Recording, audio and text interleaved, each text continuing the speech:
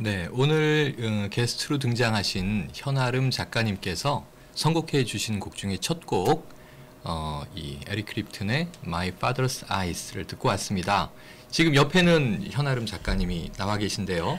이미 저 청취자님들께서는 어, 그 미인이시라고 지금 난리가 나셨죠. 지금까지 문화 레시피 빈센트가 한 일 중에서 오늘 가장 잘한 일이다. 막 이런 얘기를 하고 계신데요. 그럼 저는 이 30회가 되도록 지금 뭘 했다는 겁니까? 이렇게 장난감이나 가지고 나와서 놀고 아 이게 참 민망합니다 오늘. 근데 이제 제가 미인이라고 이 그냥 통상적인 저 이 트래픽을 좀 올리기 위한 저희의 어, 그런 이제 수, 수식어를 구사하고 스스로 민망했는데요. 오늘 스튜디오에 모시고 보니까 아, 제 말이 이제 뻥카가 아니었다. 사실이었다라는 걸 여러분이 이제 확인하실 수가 있겠습니다. 먼저 같이 인사를 좀 나눠주시죠. 안녕하세요. 네, 안녕하세요. 네, 현아름 작가입니다. 네. 그래서 이 그 아직 유명인은 아니시므로 네. 우리 청취자분들이 궁금해하실 텐데요. 제가 이 그 블로그에서 쓰는 방식으로 자기 소개를 좀 여쭤보려고 그래요. 블로그에 보면 I am 땡땡땡 나는 뭐다. 그 다음에 I like 땡땡땡 나는 뭘 좋아한다. I dislike 뭐 땡땡땡 난 뭘 싫어한다. 마지막에 이제 I wish my wish list죠. 나, 네. 내가 원하는 건 뭐다. 예, 뭐딱 이제 규정되어 있는 건 없습니다. 네. 떠오르시는 대로 편안하게. 예. 네. 나는 누구인가요? 현아름님은 어떤 분이신가요? 저요? 저는 현아름이요. 네. 네. 네, 간단하게. 아니죠. 네. 되게 한마디로 단정 짓고 그러는 게 네네.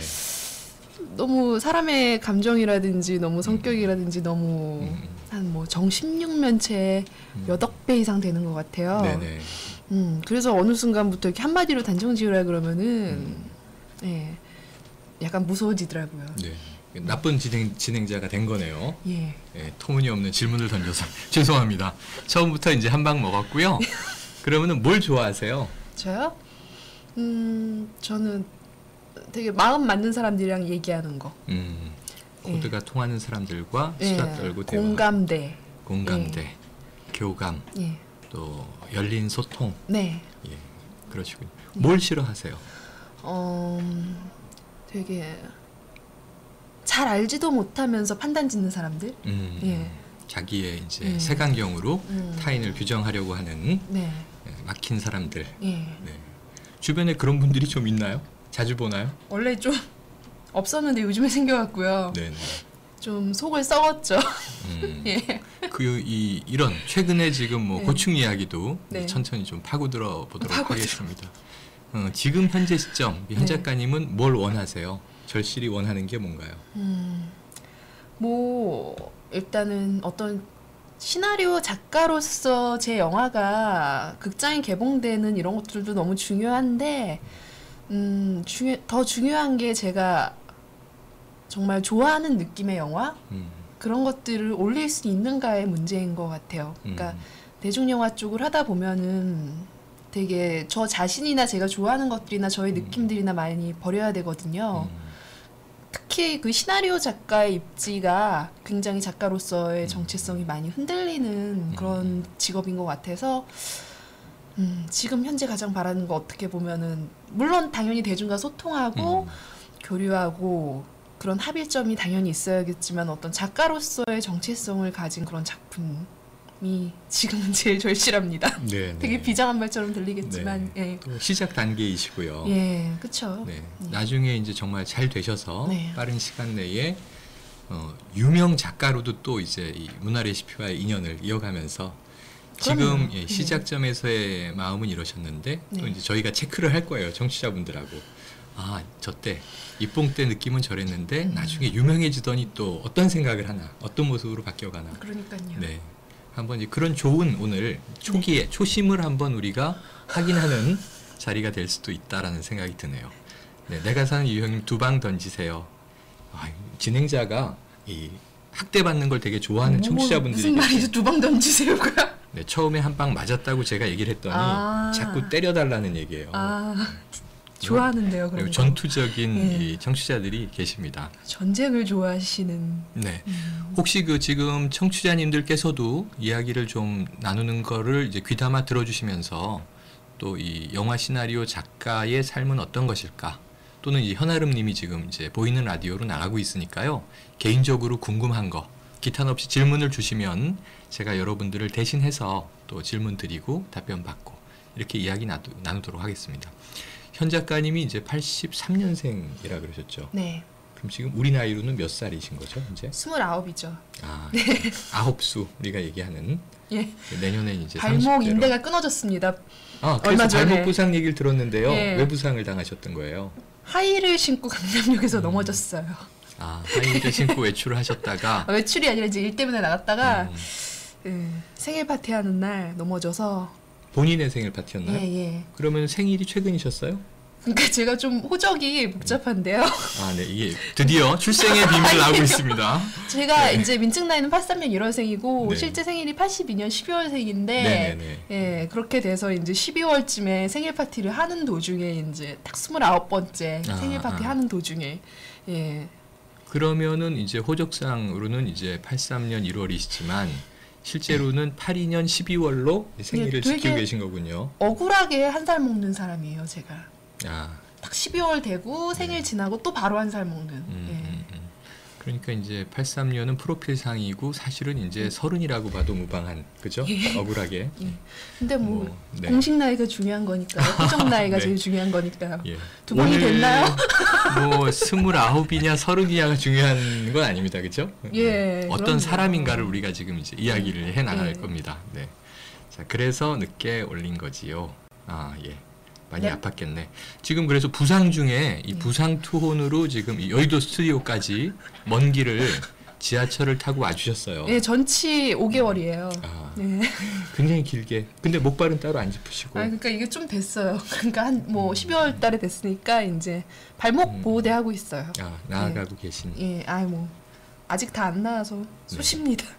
다행입니다. 다행이에요. 쑤시는 게. 자, 그럼 이제 개인적인 소개는 네. 어느 정도 이제 됐습니다. 간단하게나마 또 이제 이야기를 나누면서 또 이 현 작가님의 뭐 캐릭터, 성향, 성품 이런 얘기를 좀 나눠보기로 하고요. 작가 세계 이야기도 좀 나눠보기로 하고요. 어, 오늘 뭐 여러 곡 골라주셨는데요. 네. 에릭 크립튼을 먼저 들었고요. 예. 이 My Father's Eyes는 어떤 뭐 개인적인 사연이나 의미가 네. 있는 곡인가요? 예. 의미가 있죠. 네. 제가 한 18, 19살 때 들었던 것 같아요. 음. 근데 에릭 클립턴이 되게 음, 사생아 출신이거든요. 네네. 그러니까 음. 어렸을 적에 이제 엄마가 아마 16살쯤에 에릭 클랩턴을 낳았고 음. 그리고 이제 할머니를 엄마로 알고 자라고 음. 그리고 이제 아버지는 이제 음 이렇게 말하면 좀 그렇지만 음. 이제 어머니와 헤어지신 뒤 다른 삶을 음. 사셨죠. 그리고 그 싱글맘 예, 엄마가 아래서? 누나인 줄 알고 자랐고 음. 그래서 이제 My Father's Eyes 이걸 들으면서 사실 제가 아버지가 한 살 때 돌아가셨거든요. 음. 그래서 에릭 클랩튼하고 좀 비슷하게 좀 아버지는 항상 제 상상 속에 존재하는 그런 느낌이었는데 음, 그 곡의 내용을 보면 그래요. 그러니까 항상 음, 에릭 클랩튼 자신의 자전적인 이야기인데 음.